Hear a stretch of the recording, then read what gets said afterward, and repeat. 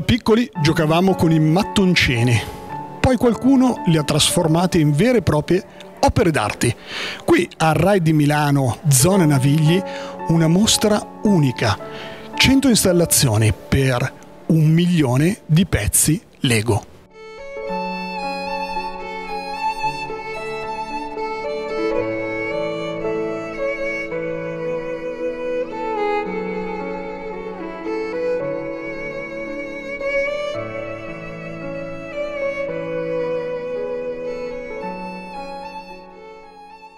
Siamo col curatore della mostra Fabio Di Gioia. Intanto Fabio, veramente complimenti perché è qualcosa di incredibile e complimenti anche a te perché questa è una mostra itinerante che ha girato per tutto il mondo e tu l'hai portata in Italia.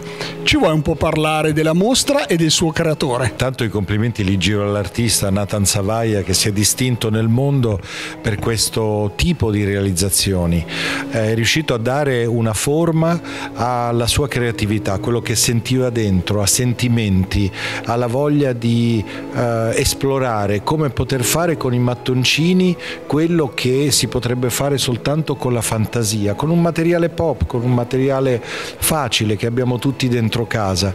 E quindi Nathan Savai è un grande perché ci, ci lascia questo messaggio, ci dice la creatività innanzitutto, quello che abbiamo dentro innanzitutto cerchiamo di essere noi stessi ascoltando quello che abbiamo dentro. Lui l'ha fatto e nel 2004 ha smesso di fare l'avvocato ed è diventato un artista che ha iniziato, ha inaugurato un filone straordinario con un grandissimo successo, un grandissimo seguito. Oltretutto una, una, mostra adatta a tutti perché non è rivolta solo ai bambini ma anche al pubblico un po' più adulto, giusto? No, la bella sorpresa è questa che naturalmente sentendo parlare di una mostra Lego di mattoncini eh, viene spontaneo portare i bambini in realtà poi gli adulti sono più conquistati dei bambini quasi perché naturalmente i bambini trovano un, un, mondo che conoscono, un mondo di gioco, un mondo di cose realizzate che è comunque affascinante. Ma l'adulto naturalmente riesce a leggere il valore artistico, la difficoltà, eh, tutto quello che queste realizzazioni sono, eh, rappresentano. Fabio, ultima domanda tecnica. Ovviamente tu sei un appassionato d'arte, questo è poco ma è sicuro il tuo lavoro, cosa vuol dire portare una mostra come questa in Italia, le difficoltà e, e immagino il, il grande lavoro che c'è stato. Beh, è una doppia difficoltà che si può affrontare solo con grande entusiasmo. E la prima è quella di convincere il nostro pubblico che questa è una mostra assolutamente bella da vedere, da fruire, è una mostra che eh, elargisce un bel messaggio.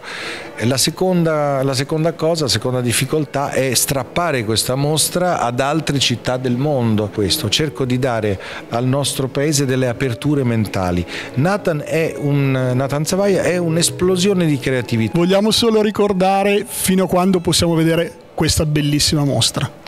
La mostra sarà qui a Milano al Ride in zona Porta Genova fino a fine agosto e forse anche il primo weekend, la prima settimana di settembre.